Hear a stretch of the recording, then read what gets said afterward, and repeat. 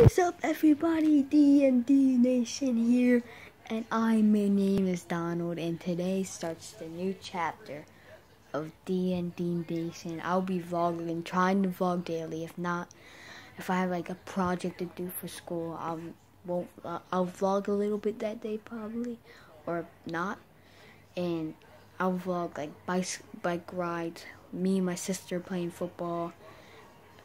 Uh.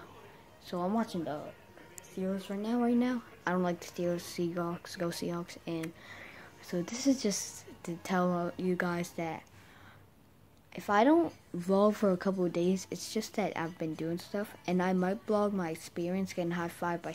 I might like post my experience getting high five by people. So peace out, everybody. Hope you have a nice week and happy Halloween to everyone. I'll vlog. I'll try to vlog part of ha Halloween too. All right, peace out, people. That one of haters, and I'll see you tomorrow.